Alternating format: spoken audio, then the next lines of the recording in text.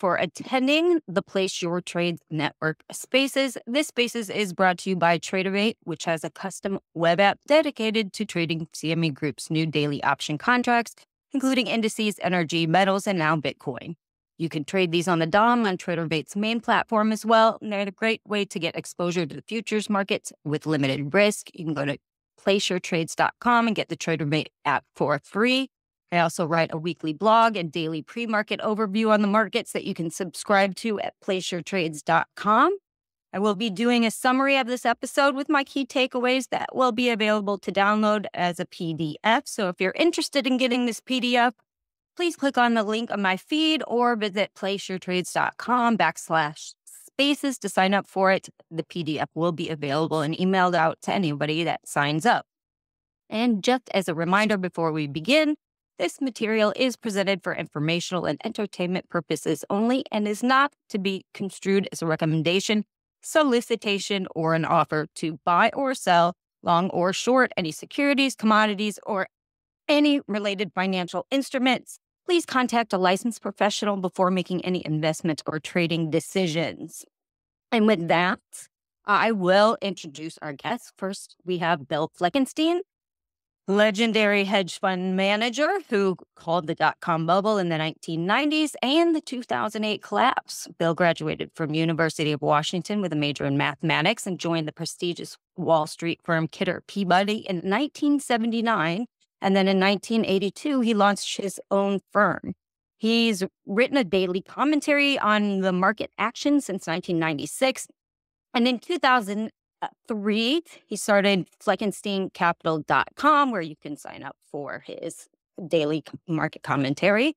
He's also a best selling author. His book is titled Greenspan's Bubble The Age of Ignorance at the Federal Reserve, which was published in January of 2008.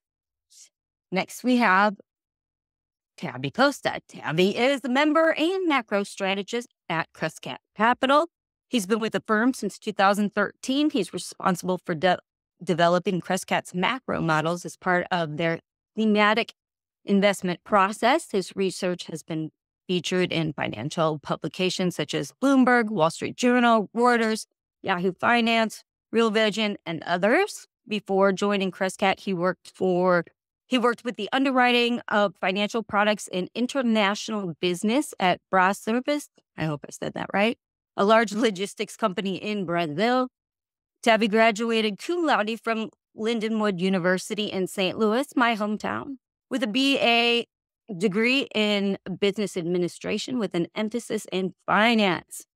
And with that, gentlemen, thank you so much. We'll get started.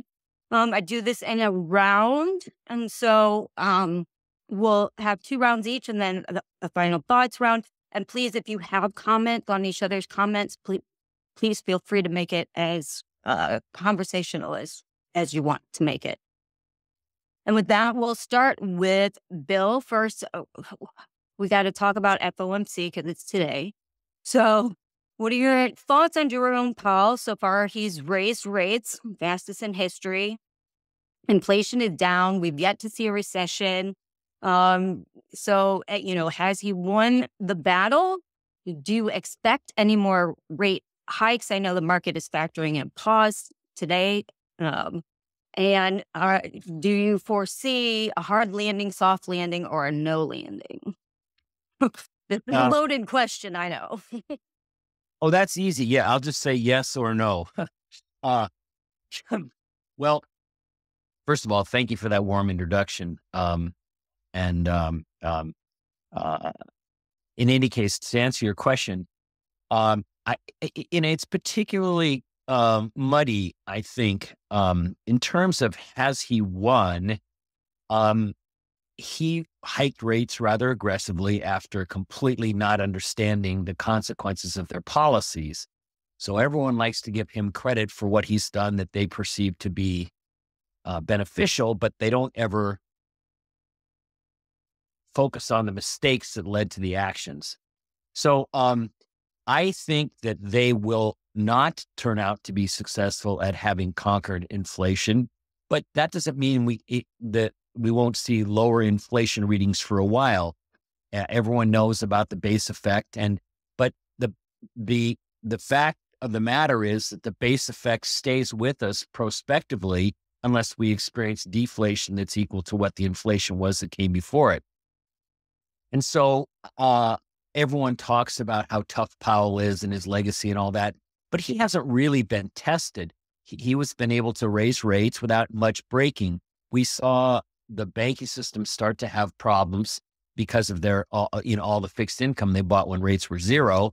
And as Silicon Valley Bank blew up, um, you know, instead of like letting the people that were um, uh, exposed um, by having more money than is guaranteed, um, take a little pain, maybe lose ten percent or so. You know, they they made everyone whole, and they they put put in the bailout facility so the banks could borrow it at par. So he's already shown that he he'll move if something goes wrong. So I think now that inflation has stopped r- ratcheting up aggressively due to the base effect, um, if we start to see any kind of weakness or, or have a problem, he will he will start to cut. The mar- uh, the market has gotten ahead of that that outcome because so many people you know, I think are, are, are, are making a bet by buying fixed income prospectively, thinking that it will do well when that happens. Um, I'm not so sure how well they'll get paid. And I, and those, those, I, the, as, uh, we discussed before, Tracy, those rate cuts aren't really people doing rate cut math. They're just speculators that have bid bonds to a place that, that, that, that if you look forward, you, you would, you would think that's where the rates are going to be. So, um, anyway, uh, he, he's going to have a prolonged inflation problem, in my opinion. Uh, if you look at see how inflation developed in the 60s and 70s, it wasn't just like one and done. It was a process that took a long time to get totally out of control and took a long time to get back under control. So I think the environment we're in is going to turn out more like to be to be more like the 70s than most people seem to want to understand. Um, so I guess that's a long way of saying that I think that, uh, that, that we're a long way from knowing how this is all going to play out. And I think expectations are way too optimistic about how, um, um, um, how, how, how, how Goldilocks, how Goldilocks-ish the, the environment really is. And why, I mean, why, I mean, Powell's been pretty adamant in his stance higher for longer. Yet the market keeps pricing in rate cuts. I, the price, you know, we have a rate cut priced in for March, starting in March. Um, yet the Fed has, you know, still hasn't wavered from their stance. So what, why, why do you think the markets are expecting something different? Well, be, because people, people have all taken a, a lot of speculators have taken a page out of Stan Druckenmiller's book and everyone knows that, you know, Stan famously has made tons of money in bear markets by betting on fixed income, bear markets and recessions. So a lot of people are trying to get in front of that. I think there are probably other fixed income buyers who um, uh, like this coupon versus what they had to deal with for several years prior. But because they're just, they're they're just speculating on on what they think is the certainty of a recession and the fact that inflation is under control. Therefore, they bid bonds to a place that implies these rate cuts. But I don't know that they specifically, anyone's saying in their head, hmm, I think he's going to cut three times next year, therefore do this. It's more like they did this, and that's what the math implies. So, um, and I don't think, look, the rhetoric, if you've read any transcripts, the actual meeting transcripts, not not the um, minutes that they release, um, you know, you know, every every month or a month after all the meetings. Um, the, the the Fed is not particularly insightful when it comes to any any any big changes. Um, you know, Powell was begging for more inflation as recently as um, July of 19. I, I've got this article pinned to my wall that says Powell seeks a cure for the disease of low inflation.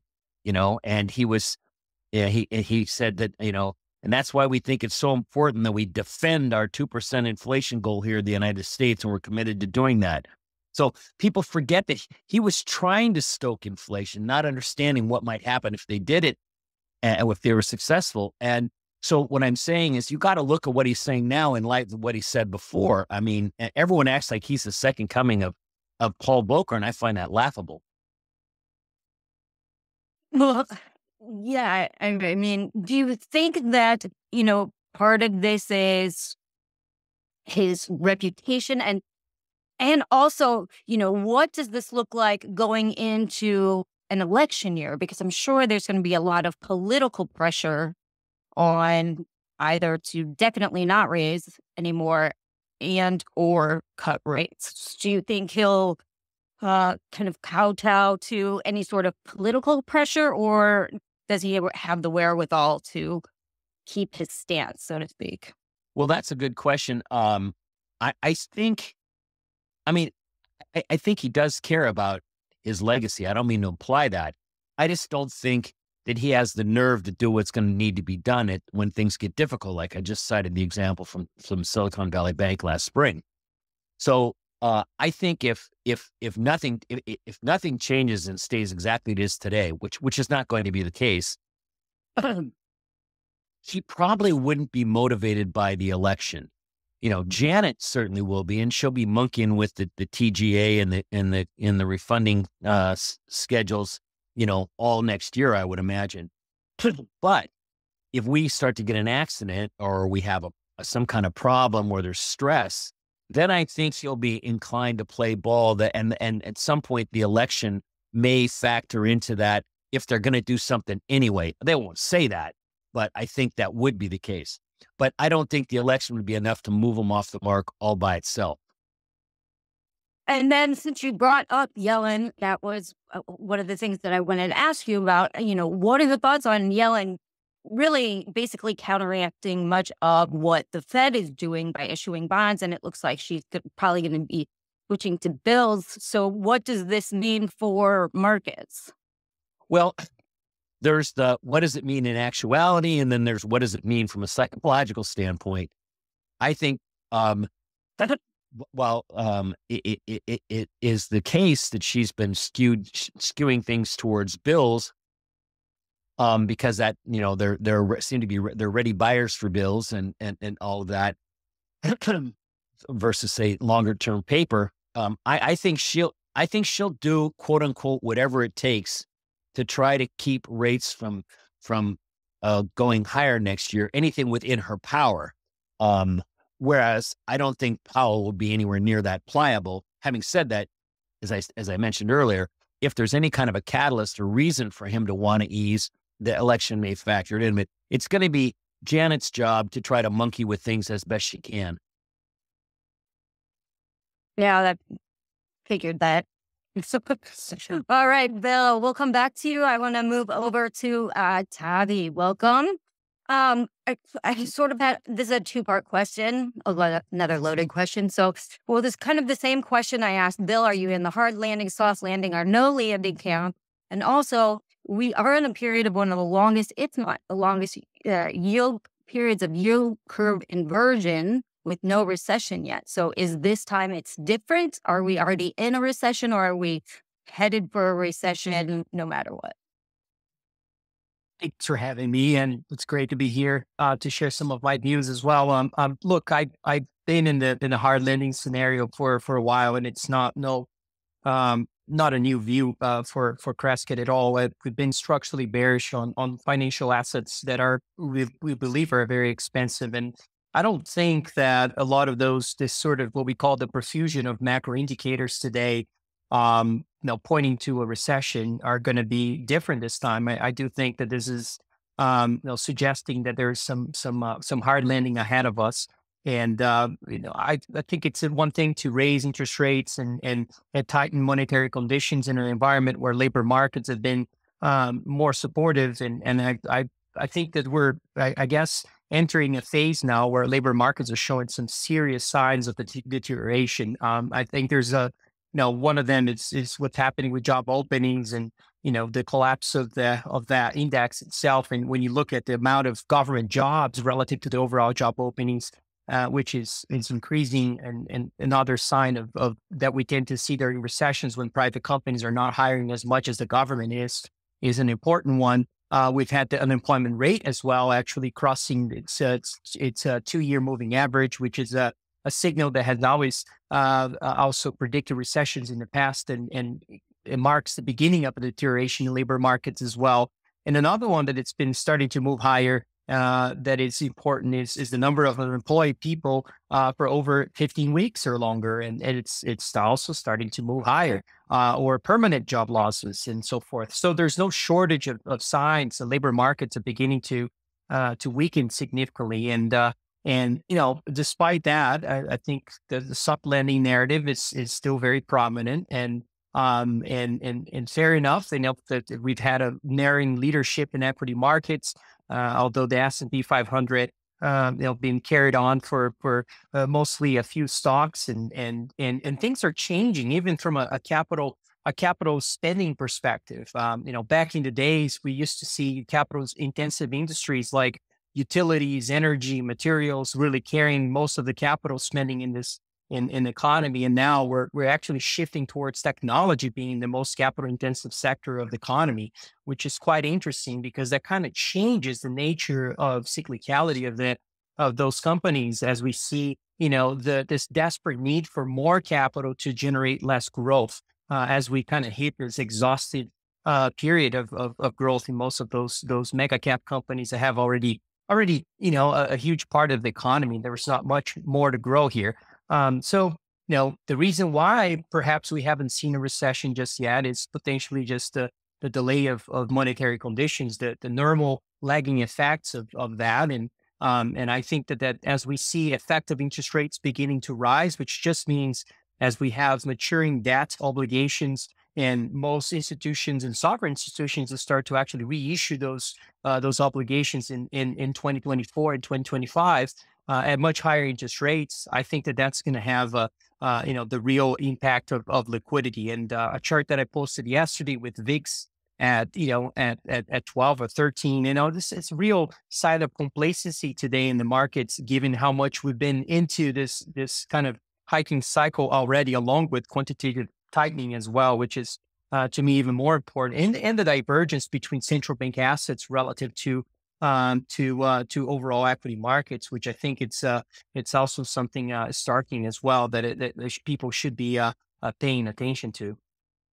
Oh, and why why do you think exactly markets have been so complacent? Because you brought up volatility, um, you know, and it seems though it's disappeared. Right, we're at lows and the lows. What are we at? Eleven or something.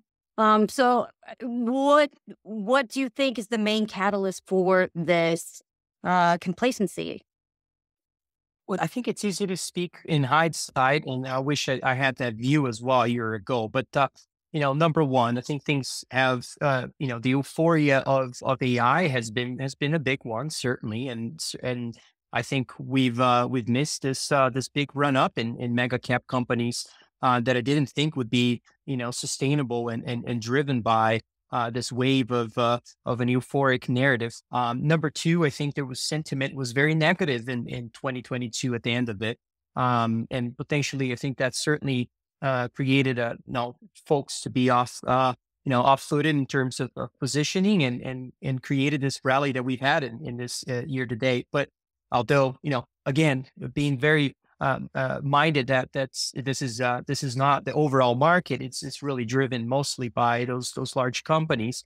Uh, those are, I think, the, the big the big things. And uh, inflation certainly decelerated, right? Inflation decelerated uh, which I think has helped the market to uh, to prop up the markets too. And um, you know, look back in the '70s when inflation accelerated, certainly it was was uh, uh, was something that supported the equity market. It's now U.S. My view about inflation is is very uh, similar uh, to other folks that that are in an inflation camp. I, I think I think we are facing uh, uh, a lot of, of very structural problems in terms of that, and uh, that has to do with what I call pillars of inflation, and and it's um, and those are you know the reckless amount of fiscal spending, the deglobalization issues that we're seeing. Uh, that are, I think, are you know, a huge problem. Um, and a third one would be the chronic underinvestments in, in natural resources, which has been my main focus as well in the funds has been certainly looking for exposure towards that in the labor markets. And I I do think the labor markets are are showing uh, signs that are very similar to the 1970s in terms of the um, you know just the, the, the fact that folks are are struggling to to live in an environment of of higher cost of uh, of living and and uh, and so forth, and it will pressure those folks to actually uh, you know earn more capital. And and as we see companies actually being squeezed by their margins because when you look at the, the amount of labor costs relative to uh, to how much you know companies are earning in revenues and other things, you will see clearly that we're in one of the lowest levels in history. So companies certainly have room to pay more to their employees, and and that's going to change the dynamic of margins as we move forward. And it's important just you know if you just look at historically of margins of corporations in the U.S. You know, all we've done in the last uh, two years or so is go back to peak levels of of of, of prior um, you know of prior cycles, meaning you know we we were at outstanding levels of, of margins that now came back down, and that contraction is is only back to our prior peak levels of, of prior to the the technology bubble or or or the housing bubble and other periods that were very uh, robust until things really turn. And so um, you know, so we haven't really seen this contraction uh, uh, from from margins that really uh, it starts to uh, to hurt those businesses. And I, think we're going to see that. I, I, really believe that uh, labor cost and, and, and deglobalization, other things are going to create, uh, you know, further implications for those companies to make money. And so, uh, and a deceleration of, of growth is is certainly happening now. And I, I think uh, we're starting to see that from the labor markets, as I pointed out before. Uh, manufacturing is starting to show some some issues as well. I, have been showing issues for a while. I mean, the manufacturing new orders uh, have been you know consecutively below 50 for uh, for over you know 12 or 14 months already. So you know there's certainly signs there as well of of, of weakness. So you know strongly that this is uh, the reason the recession uh, really necessarily mean the the, the probability you're cutting out just a little bit. Something that should be in mind of most investors. Does that mean that does that mean the Fed is going to have to accept higher inflation rates, and we won't get to the two percent? In your opinion? Did you hear me? Well, I, that's going to be the case. yes, yes, I, I do believe that will be the case, and uh, you know, I think we are in the trifecta of macro imbalances. We have uh, in makers will have to allow inflation to. You're cutting out just a little bit. Are you in a bad in, spot? That we have companies trading at 150 times. Sorry. Yeah, I think you're Can cutting. You hear me okay? Keep cutting out a little bit. You keep cutting out a little bit. Is your reception okay? Can you hear me better now? Is that better? Yes, much better. Okay, switch to uh okay, perfect. Um uh so your question was regarding uh can you repeat your question again? Sorry. Yeah, so the question was is the Federal Reserve going to have to accept higher inflation rate than their percent goal? Oh, I, I do think that that will be the case. And I, I don't think we have much of a way around this. I, I love talking about what the Fed is going to do in, in two to three hours, but that's that's sort of, you know, meaningless in, in a in a sense of uh, of of what the opportunity that lies ahead in terms of the the imbalances that we have. You know, why why even, you know, allocate capital towards technology companies trading at 50, 100 times earnings when you have natural resource companies trading, you know, even privately businesses trading at one times free cash flow in some cases. It's it's really crazy what's going on. I, I you know I I find this one of the best opportunities I've seen in my career. So you know this is why I'm I'm completely focused in that part of the market. But uh, nonetheless, you know, to answer the question, um, and I I do think that you know the imbalances we have are too large to not allow inflation to run hotter than than historical standards. And and, and if I'm right about inflation having those pillars very entrenched in the economy and, and really, you know, developing through waves as we usually see, not only in the 70s, but in the 40s, in the 1910s, all those things develop through waves.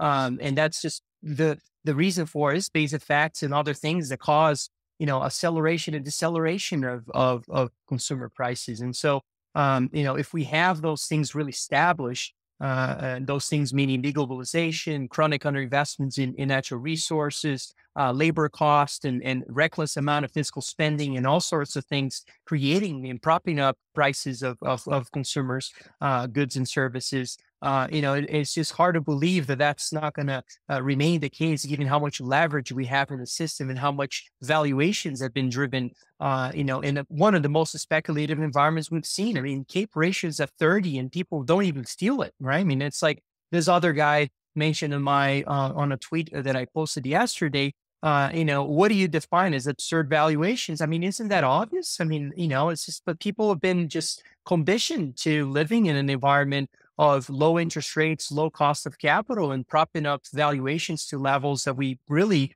you know, have only seen in the late 90s, in the late 20s. And so, you know, how does that all end? Well, it ends, you know, I, a lot of times ends with a large crash. And, and unfortunately, you know, uh, I, I, feel like a lot of, of folks are going to get caught up on that. And, and you may say, well, that's a doom and gloom way of, of thinking about the world. But I think there's just much better opportunities out there to be focused on. And, you know, the fact that we have, you know, a 14% weight in Apple and Microsoft today in, in, in S&P 500, almost 20% of those, the index, uh, NASDAQ 100 is, is in those two companies. Uh, and if you look at the S&P alone, you know, that's more than four sectors combined, you know, that's, that's more than utilities, energy, materials, you know, and and so forth. And it's just it's just um, you know unsustainable what we're seeing, and and um, you know dynamic of capital shifts at, at some point, and, and you you're likely to see things that have been in favor to become favor again. And so you know why you know to me it's just kind of uh, nonsense to even um, to even um, you know spend effort and and and, and capital uh, you know uh, towards this this this this part of the economy. I'm I'm really focused on natural resources because I think it's going to be uh, one of the best opportunities we've seen, and, and hard assets in general are likely to do very well. I'm going to add the next round. That's all I'm talking about with you. I just wanted to get get through the the equities part of this, but next the next round is um, all my questions are on, on commodities, so we'll definitely dig into that. Um, but my last question is for right now um, is you you did actually posted a chart the other day that shows that U.S. is near extreme peaks versus global equities. So do you think that, and that's even higher than the 2000, uh, 2000 tech bubbles. And I am just, I'm posting it to Twitter right now so people can see what I'm talking about, what you're talking about. Um, so, I mean, do you think this is, how does this end? Or how do you well, think it'll end? You know, I think the issue with my uh, analysis and my charts, unfortunately, is that people use them as as uh, as as trading advice, and certainly isn't right. It's just uh, research for long term research of uh, of of my views about markets in, in general. And what I view about that chart specifically is is reflects not only you know this unsustainable valuations we have of U.S. businesses relative to other parts of the world, um, you know, if you want to be more specific about what the opportunities are that lie ahead, you know, some folks may say the short side looks very compelling. I would say that the long side of resource abundant economies is even further or even more interesting to me. You can buy a business in, in Brazil, uh, you know, very established for over 30 years, trading at, at four or five times earnings. Uh, that is highly linked to the commodity space and so forth. And I think that that's that's really uh, you know, setting the stage for emerging markets, particularly the ones, as I said, that have resource favorable economies uh, to really perform much better than developed economies. And And so I'm I'm really focused in that part of the of of of, of the overall global economy because I think that that's where most of the opportunities are going to lie ahead in, in the near future. And you know, it's it's, it's supposedly it's it's kind of how how it works in in terms of uh, of capital allocation and and portfolio allocation in general. You know, if you look at 60-40 portfolios, how much of them are allocated towards emerging markets today, or even how much of them are allocated towards hard assets or commodities. You know, there's a reason why they're called 60 40 because they don't have any any allocations towards other asset classes. And so, you know, as we see an environment where inflation stays uh, sustainably higher uh, historically and, and bottoms at, at, at, levels that we've you know that that are supposedly uh, higher than than the targets for most central banks you know if, if we're if we're if we're really bottoming at two to three percent versus bottoming at zero percent as we've seen in, in prior uh, cycles uh, then what does that mean you know that means potentially, you know, uh, uh, commodities could do very well. And you can see, do the same exactly chart and look at commodities to equity ratios that also look, you know, completely out of balance. Or you can look at emerging markets specifically relative to um, to to U.S. equities. You also going to find the same thing. Or or how about growth versus value, right? And so all those things are, are themes or thematic ideas that are probably going to work in, in the near in, in I think in the next 10 years that look very compelling. Um, the energy sector that you cover so well, um, you know, that's that's another part of the of of, of the markets that are, are likely to be, um, you know, are, are doing very well in the ne- in in the next uh, five to ten years. That offers a lot of op- opportunities, and so, um, yeah, so I think that that's what reflects in this chart is is really you know, as we as we get into this inflationary era, you want to own businesses that have purchasing power. And commodity businesses have an inherent purchasing power because hard assets tend to rise during those periods. And what you tend to see is is that they actually perform very well. So um, you know, I, I think that that's there are reasons to own those companies in particular times in history that that are specific for that. And and I think we're in another one of those. And majority of the people that are um, avoiding emerging markets and other things are really with the lenses of what happened in the prior decades. And and and that doesn't really matter. The, the, the fact that it has underperformed is precisely the reason it should be uh, on your radar. Excellent. Thank you. And we'll come back to you to talk commodities. Um, back over to Bill. Uh, Bill, I want to talk a little bit about uh, Japan, moving over to another central bank. What your thoughts on BOJ right now? Um, are they going to raise rates? Are they going to stay? And then your thoughts on then the yen. Well, um, it seems to me, and this is guesswork because we don't know for sure, but it seems to be knowing how the, the Bank of Japan and, and Japan in general tends to operate, they have been they've been winking and nodding for some time now that that they're going to not that they're going to let yield cur- yield curve control go. Yield curve control go away. They have moved the bands and um, um, they've kind of hinted and then taken it back that maybe you know that'll end and and behind the scenes made some noise about uh, a potential um, hiking cycle uh, a, a, good friend of mine, James Aitken, who follows us much close, much more closely than I do, and has great contacts there, uh, feels that that the bank, the big surprise of 24 is going to be that the Bank of Japan uh, begins an actual rate hiking cycle, which I don't think people are prepared for. That would, uh, in my opinion, trigger a fair amount of repatriation of capital home to Japan it would upset those carry traders that are funding their speculative trades, most likely fixed income, um, in yen. Uh, and so it would have the potential to uh, obviously be a big deal in the FX market with the yen rallying. And I think it would be another headwind for treasuries here in America.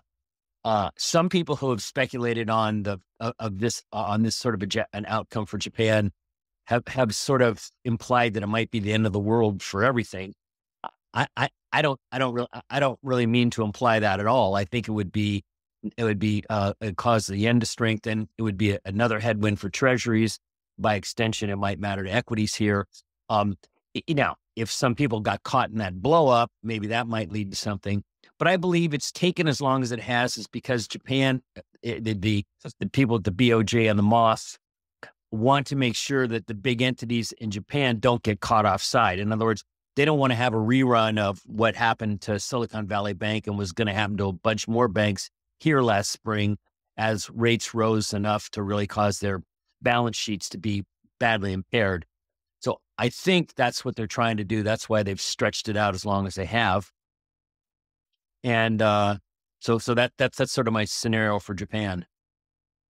And then I'd like to have your thoughts on China right now. Obviously, the property sector is still a disaster. So, do you see this as kind of a controlled demolition, um, or is it actually worse than we thought? Because you know everybody looks to China, particularly for commodities, uh, for work, for for demand, and for growth, right? So China's growing, the global economy is growing. Is well sort of what people think. So where where do where do where does China sit with you right now? Well, you're gonna laugh when I tell you this, but um, I made up my mind about 20 years ago when when when China was first starting to become a, a factor that I didn't trust any of their data, uh, nor th- their intentions about what they would let us know, and so I made it.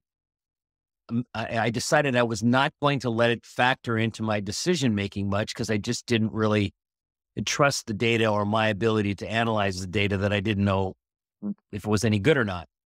So I don't, I try not to have it. Therefore, I try not to have a big opinion on China. There are, there are lots of people who you can read and follow who are sort of plugged in there. I, I haven't followed it closely enough to know who's really the best at it or the handful of folks who are the best at it.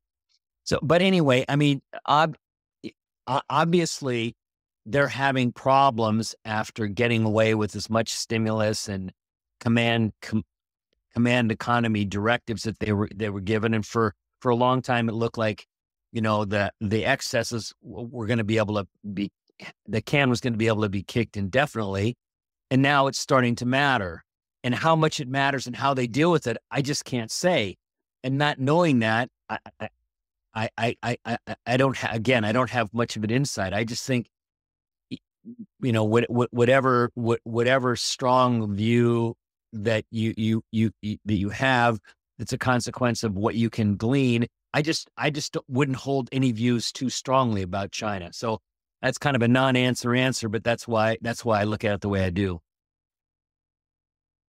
That makes sense. And then, um, what are your thoughts on uh, the U.S. markets right now? We have this pervasive bid right? And people kind of pass a bid. Maybe you could go into that a little bit and kind of explain sure. what that means. Sure, because it's a very, very important variable. And um, I, uh, I'll just take a step back. Um, it, for a number of years, you know, like say 18 to 20, uh, and particularly in 19 uh, and 20, uh, sorry, 19 and early 20, I c- could not, and, and and then even after the the uh, the big break in twenty, I couldn't figure out why the markets seemed not to look forward anymore, and it didn't seem to discount anything. It was like reacting to the news, and I kept I, I couldn't put I couldn't figure out why that was the case. It was drove me crazy, and then sometime in, then in, the, in, in early 2020, I bumped into Mike Green, who had done all this research on the uh, amount of money that is uh, uh, under control by passive investors. And when I say passive investors, and so, and so, everything I know about that is I learned from Mike Green and then can continued reading. So he's the man that really uh, understands this stuff as, as, well as anyone. So I don't want to take credit for his work. Um, but when I when I say the passive bid, I don't mean an ETF because you know, while you, when you buy an ETF, somebody goes out and buys the names and the weightings as prescribed, but you made an active decision to buy that ETF. The passive bid is this. In corporate America, there are these target date funds, and they have a certain amount of equities and a certain amount of fixed income, depending on your age. And that money gets shipped to BlackRock and Vanguard and is run uh, almost exclusively these days in, in, a passive form. That's not to say there's no money with outside with, with different types of money managers, but That's what's taking all the incremental market share. And it's somewhere around 50% of, of, of, of daily activity. Well, so you have a machine, a robot, who says, I have cash, I'm buying them. And they buy it in the prescribed weighting of the Vanguard or the BlackRock or whoever else might be doing that. And it's it's mechanical. It has nothing to do with any view on anything. Jack Bogle started this by thinking that that you could have a lower cost way to uh, mimic the market. And the market used to be the collective wisdom of all the investors, and it used to be very good at discounting the future. You know, in various industries would start down well before the news turned, the market itself. It was a great discounting mechanism. That has ceased to be the case for, I don't know, at least five or six years, if not longer. And the passive bid keeps taking market share in that at the margin, uh, active managers get redeemed, um, and part of that's demographics and part of that's underperformance. So the passive bid keeps taking a bigger and bigger share, and at some point it will it will it will dislocate. Sorry, it'll it'll impact the heavier weighted stocks even more disproportionately than it does today. I mean, that's one one of the reasons why we have these mega caps. Is that's one of the phenomenon. So it makes uh, uh, trying to ferret out what the market's going to do or doing very difficult because it's like the market that used to look down the road and see the future has kind of been sedated, right? It's all drugged up, you know, it's, uh, uh, just coming out of surgery, you know, use that, that, that visual if you want. Um, and then on top of that, you have the massive amount of money that's in the uh, option oriented world and there's plenty of fellows on uh, and gals on Twitter that that know a lot about that. But that also amplifies things and and and and, moves uh, uh, individual securities disproportionately relative to the news. So um, th- that that creates risks. Th- th- those create certain risks, but they also create a certain amount of automatic pilotness to the to the process. So I'm explaining this because people need to understand the nature of the beast. This is not the market that I grew up with, nor existed prior to that. Um, and uh, so you have to you have to keep that in mind when you're thinking about outcomes and how things can play out. Um, so I, I got off on such a tangent about passive investing. I forgot what the other part of the question was. Sorry. Well, so I, I, well, that, that was just I just wanted you to kind of explain that, and then okay, uh, maybe some of the dangers of this. Uh, meaning, you know, what if we do go into a recession and we do see people well, starting to pull money from their 401ks? Yeah, well, um, uh, according to Mike Green, who I heard comment on this yesterday, um, it, we need a certain amount of of of contraction uh, um, or certainly lack of growth in the employment in the employment market to start to to start to um, move that bid in a way that might matter or reduce that bid or God uh, or potentially turn to selling. Um, obviously, um, th- that presents presents a big risk to the downside because it will be just as indiscriminate in selling as it has been in buying.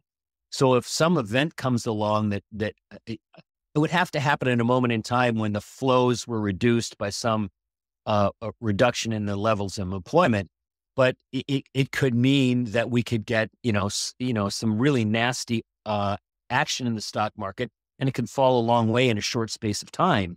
That would also be exacerbated by the option flows. So you have to you have to be aware of both of these variables and have them factor into your decision making because if we get to a point where there's you know there's employment erosion enough you, then and you have to be aware of is it is it is it low is it down enough to start matter to these flows? And if it is do you need to reduce your risk?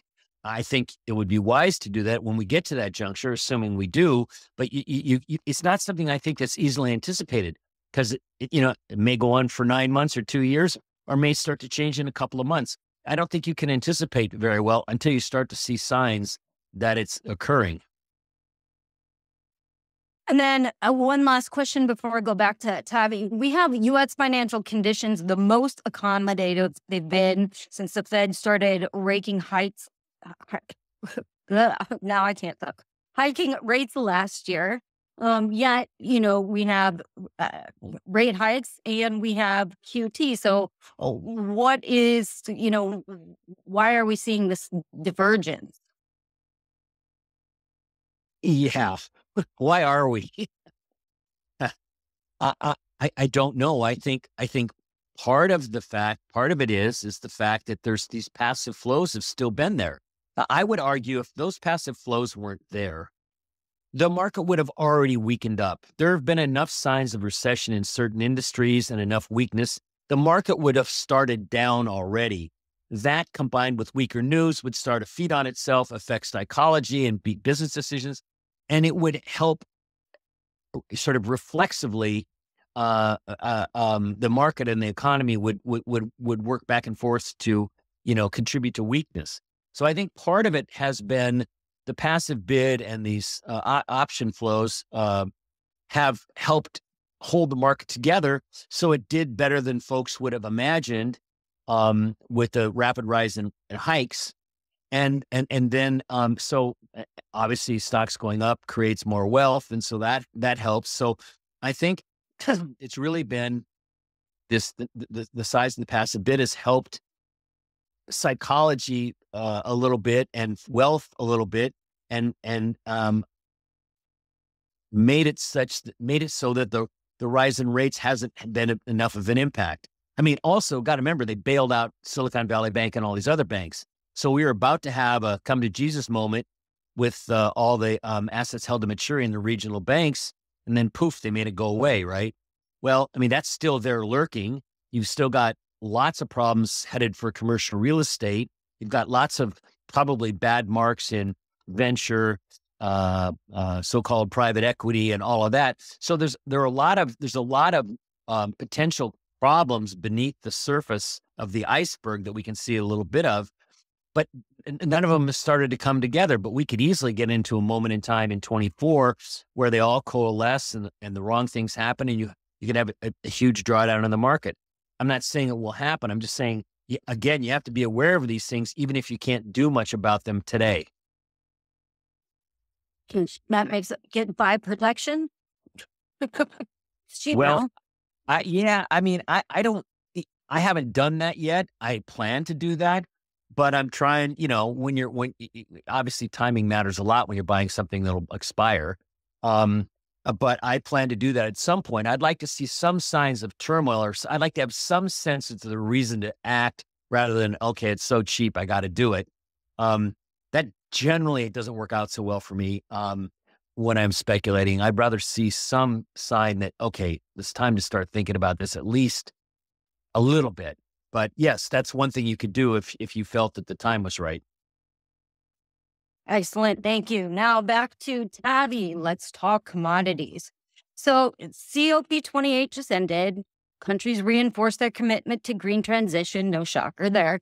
Um, so why do you think that uh, renewable minerals and metals have underperformed so much, considering the lack of capex across the sector and the West uh, you know, seemingly down this path, uh, you know, with no stopping? Mm.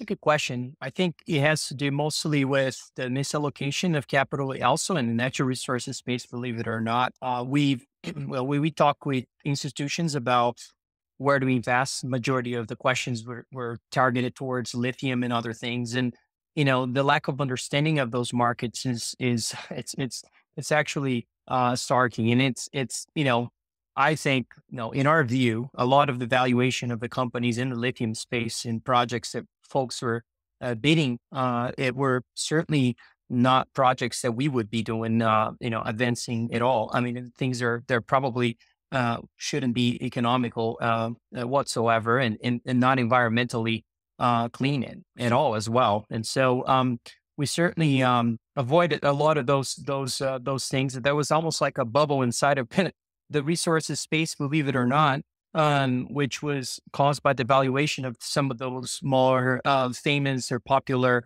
battery metals. Um, with that aside, um, you know, there's certainly um, things have uh, cleaned up a bit um, more recently, and and there are some great projects, by the way, in in in in in the battery metals space, and we've been we've been financing some of those in, in different parts of the world. Um, but um, but it's it's you know you have to look with the lenses of of, of a bear market, meaning um, always always looking for things that are um, that are very good projects that can be developed in in any type of of, of market, and and I think um, a lot of folks are not uh, approaching this the right way. And to me, it's it's almost like a sense of uh, I always talk about this about the the lack of geologists in in in the industry, and and and that certainly is reflecting on the inefficiencies of these markets. And you know, we have a lot of companies that we own that certainly uh, put out great results in terms of uh, intercepts and, and improving the intrinsic value or the probability of a discovery of of their projects. And you know, and those companies get um, demolished on those news. It, it's just a, a, total lack of understanding of of uh, of of the market overall, and and so it's allowing you know uh, funds and, and other institutions to take a long term approach and buying those businesses that are in a completely broken market in my view. Um, you know there are companies that shouldn't be public for instance. You know there's too many public companies in the, in the junior space. Um, you know, certainly we could uh, we could fix some of those. There's too some of those companies are too segregated as well. I mean it's a you know why do we have so many companies? Why do we you know uh, in, in areas that they should be all uh, merged um, and and it's making it difficult for uh, majors to approach those companies because if they approach one of those companies, they they really need to in in uh, in in theory um, approach all of them together, and and it makes it very difficult for them to uh, acquire those those uh, those uh, that land, and so um, in a significant way to uh, to make the waves, and so um, you know there's a lot of structural problems as well in in this in this industry, but uh, but that's what it makes it so attractive. And what are your thoughts on, you know, I know that there are a lot of desires to, uh, you know, bring kind of mining back to North America, yet we have a real big problem with permitting. So, is there a way to sort of streamline that? Do you think that's possible, or are these projects just going to uh, you know, remain in this very long timeline? Um, no, I, I can speak for exposure in the portfolio because I, I think that's certainly uh, explains my conviction of what where we think things are going to develop. And uh, yes, I think North America has you know incredible projects to be uh, uh, developed over time, and uh, you know the, the the government issues are a big problem. And what is interesting about this market currently is that you have a premium in valuations of projects that are in North America relative to other parts of the world. And that premium is normal, is, is, is how markets are prioritizing jurisdiction risk. And so, you know, a project in Bolivia should be priced lower than a project in, in the US.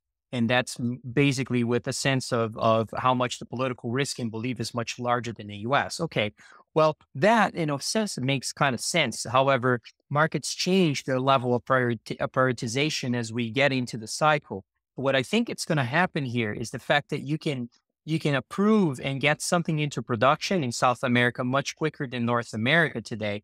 You know, in Canada, you're dealing with natives and, and other groups that are that make it very difficult to uh, to advance a lot of those projects uh, you know, some of, you know, to go from exploration to a producing asset in Canada today, it may take over 15 years to go there. So you basically lost, missed the whole gold cycle if, if, uh, if, uh, if we're, if we're entering one today. Um, and so, you know, it is something to be uh, considering. And so as we see, I believe that that premium of, of jurisdiction risk is going to be squeezed, meaning I think we're going to actually prioritize how soon we can get things into production. And so that's why I think South America would be uh, a great place to be uh, to be uh, investing in, to be uh, finding those unique projects that can get developed much quicker. And that's a very unexplored region of the world. And uh, believe it or not, and there's there's definitely a lot of opportunities there. And uh, um, you know, I think the the the political risk is a real problem, and and, and everything has a price. However, um, the big thing here is is is the fact that things are so cheap, um, and uh, and and you can certainly on the back of a favorable commodity market, um, it's very difficult to see the political side of it uh, getting in the way. And, you know, usually you don't see that. I mean, Lula was the president in Brazil back in the early 2000s in the middle of a commodity cycle. And nobody cared about that. You know, the market still went up significantly. And so you know, we're again with Lula in, in, leadership in Brazil, and it's just one example. And it's, um, but if there are other examples in South America, and and you know, we've been exposing ourselves more and more in that region because we think that the prioritization of developing assets quicker would be, uh, um, you know, something that would be, um, you know, under uh, consideration more and more for investors moving forward. Given given this, um, you know, kind of demand that we're going to have for metals and mining, that I think almost impossible to see how do we go from a green revolution that you mentioned, you know, housing affordability, which just means building more homes, you know, reshoring economies and and building factories and building airports and all sorts of things and manufacturing capabilities without making the metals and mining industry a lot more relevant than it is currently and without creating much more demand for those materials over time. And as we see that in, you know, this, this large demand coming over time, uh, certainly will create the need for, uh, you know, the speed of those projects to come into production much quicker. And so we may see that prioritization and the squeeze of margins between, you know, a, a project in North America versus South America. This is just one example, by the way. And then I know you talk about gold a lot, so I can't have you up here without talking about gold. So, you know, why do you think, you know, gold's been relatively sideways for, uh, you know, since 2020? We kind of get to that, you know, 2100 level and then it gets pushed back down. So, uh, what are your thoughts on gold longer term and why do you think this market's been relatively stagnant?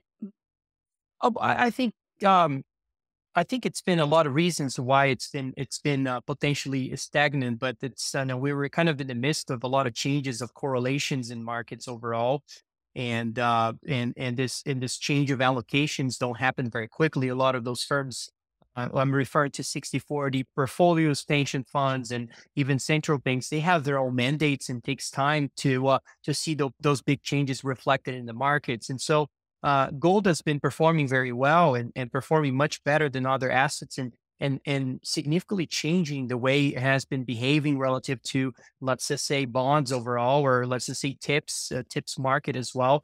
Um, you know a lot of things that used to be highly correlated to gold have been um, have been changing over uh, i would say in the last uh, 12 tw- 24 months or so. You know who would have thought that we would see such a large you know, steep amount of hiking cycle uh, that doesn't really cause, um, you know, uh, gold to completely crash. And, and gold actually held up really well in this, in this whole period. And so, you know, there's the other side of this as well that I think a lot of people are uh, avoiding to speak about. It's been of my view that, you know, I think gold prices are going to trade much higher 10 years from now. So, you know, how do you approach a market like this? I mean, you, you know, just think about it. Well, if you think gold's going to be significantly higher in 10 years, um, you know, I want to leverage that trade. I want to think about how do I make money the, mo- the most uh, optimal way in this in this market. And and uh, there's a lot of ways to do that. Uh, you can buy silver. You can buy other um, other precious metals. It, you can uh, uh, you can you know I've never seen a gold cycle that doesn't coincide with a commodity cycle. You know, believe it or not, agricultural commodities move very close to gold prices. Believe it or not, put the same chart in the same uh,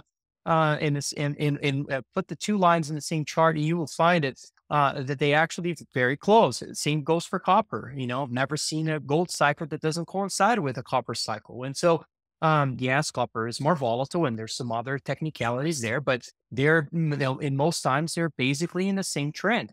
Um, and, and same thing goes for emerging markets and other things. And so, you know, uh, when you start thinking about, okay, I have a bullish view in gold, I think, you know, policymakers are very constrained. They, they can't do much. They can't be raising rates sustainably uh, much further. And, you know, we have a lot of imbalances that will cause them to ultimately go back to financial repression and other things. Um, and tangible assets are likely to do very well. Well, I know from a capital dynamic, the central banks used to own close to 80% of gold relative to the international reserve. And today they own 20%. They're starting to buy you know and then you look at the 60 40 portfolios and you see researchers from bank of america asking their financial advisors how much do you own of gold? And 73% of them say we own 0 to 1% exposure.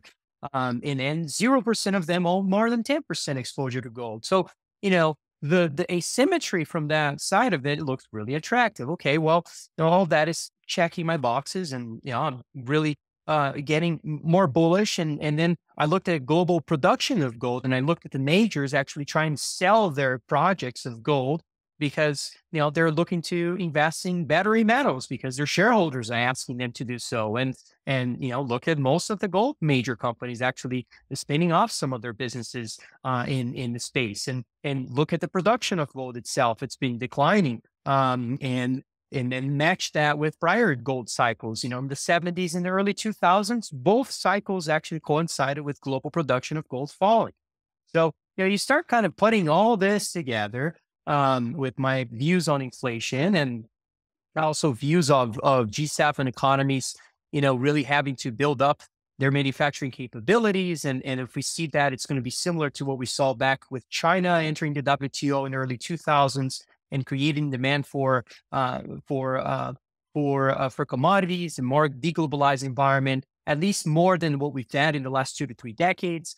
All those things put together, you know, makes to me, um, you know, very compelling case for gold. So, you know, what what are most of the billionaires that make capital, you know, made made their wealth in in the space? Well, if you research, you're going to find that most of them made money in exploration. Or guess what? Nobody's spending money on on on exploration today. Um, and so exploration stocks have been demolished and, you know, completely diluted and, and investors have been tired of, of investing in, in that segment of the industry.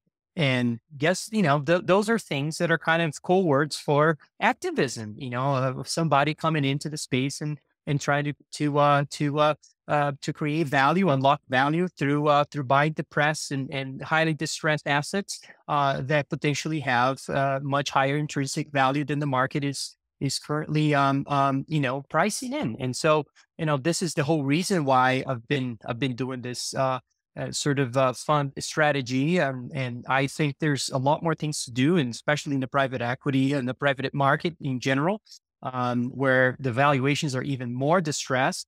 And, you know, institutions love distress opportunities in a big way. And I think that ultimately we're going to see some of that capital flowing into the space. And, you know, we're seeing some of that happen through energy companies, as you cover well. And um, we've had uh, some energy companies, you know, deep their toes into mining.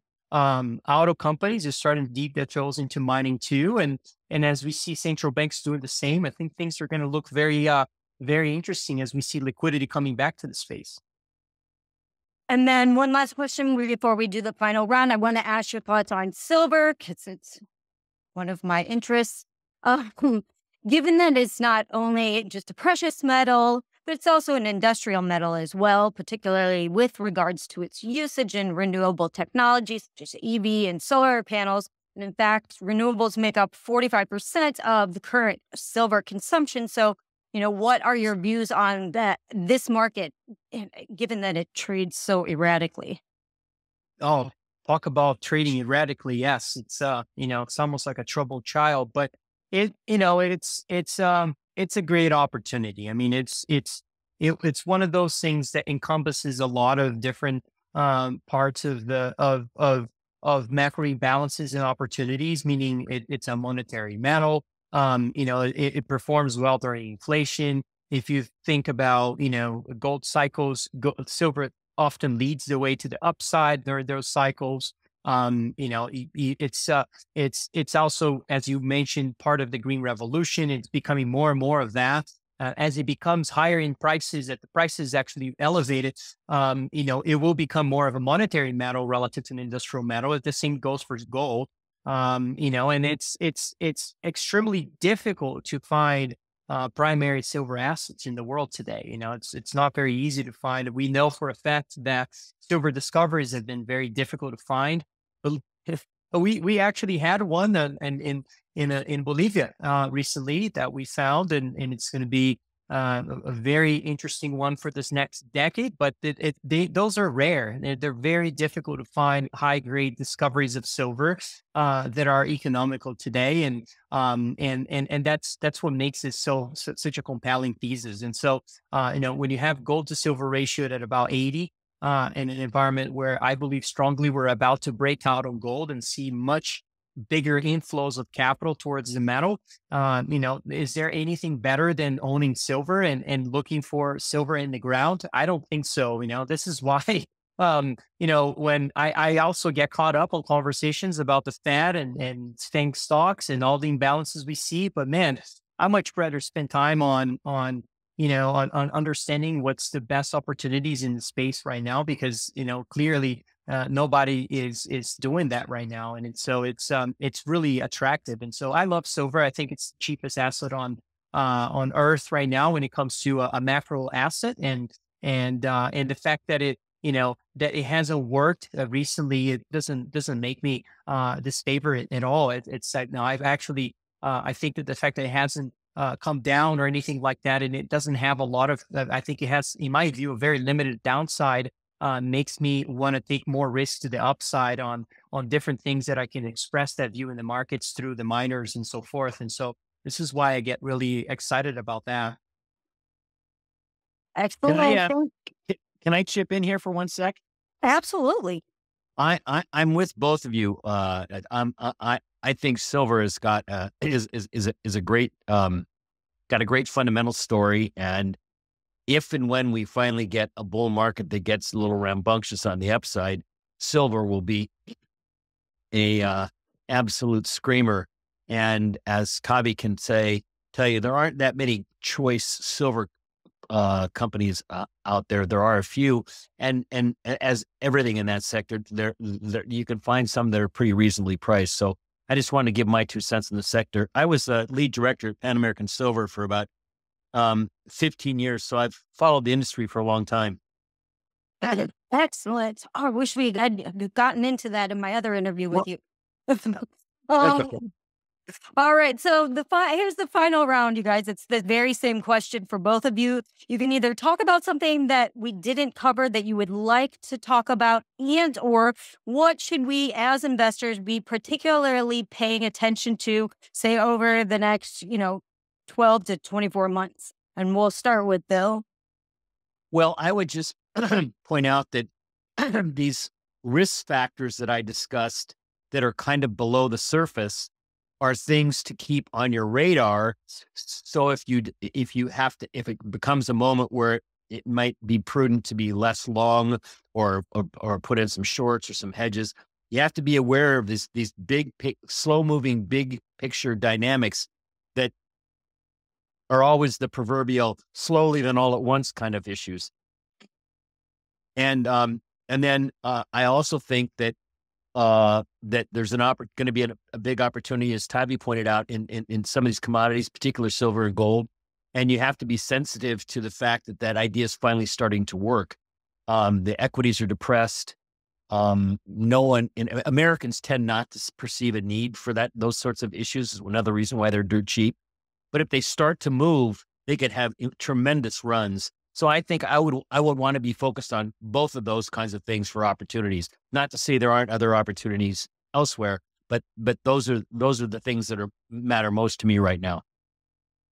Excellent, thank you. And then Tavi, the same question. Um, you can talk about something we didn't get a chance to talk about, and or you know what should we as investors be looking at twelve to twenty four months from now.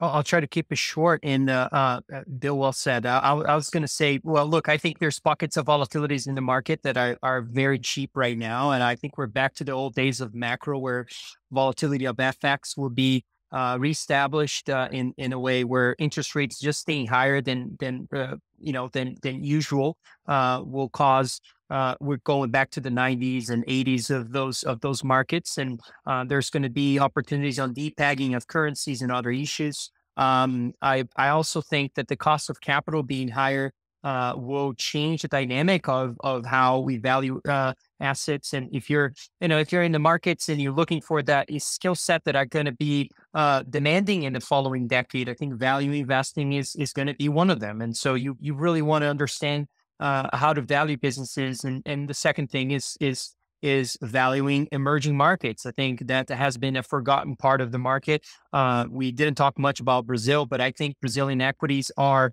you know, one of the most uh, uh, interesting places to be invested today. And you can find commodity related businesses, but you can also find indirect businesses like banks uh, that are, as I said before, very established uh, companies uh, that can do very well in this environment, and and I I really like those. And so um, you know, those are those are my big my big uh, uh, things. I think Jim Grant one time said, uh, you know, investing is about uh, agreeing not agreeing uh, with investors today, but uh, investors agreeing with your thesis in the future. And um, there's certainly no shortage of those right now. And you know, metals and mining is just one of them, but it's you know, for folks that are looking for those skill sets that are likely to be demanding, I think agricultural commodities can be a great one. Energy can be a good one. Uranium could be another one. There's so many ways to kind of skin the cat here to uh, to make money in this in kind of hard asset environment. And so um, I, I'm very uh, um, you know, I'm very focused in that part of the of, of the global economy because I think it's going to be,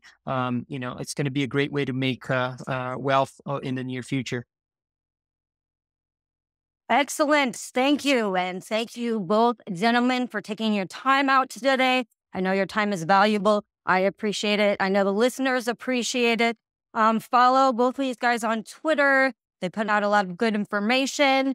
And uh, with that, I will uh, see everybody next Wednesday. Thank you again, everybody, for attending. And thank you, gentlemen, for being here. Thank you, Tracy. Thank you, Bill. Take care.